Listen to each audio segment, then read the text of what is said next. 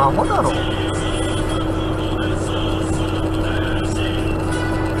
バカだよね。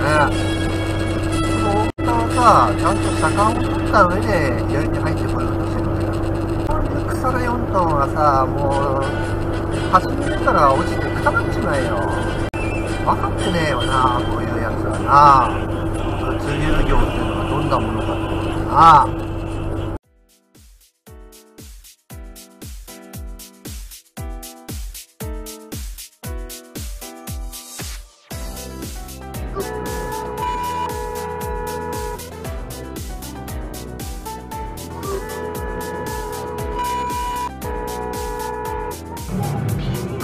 く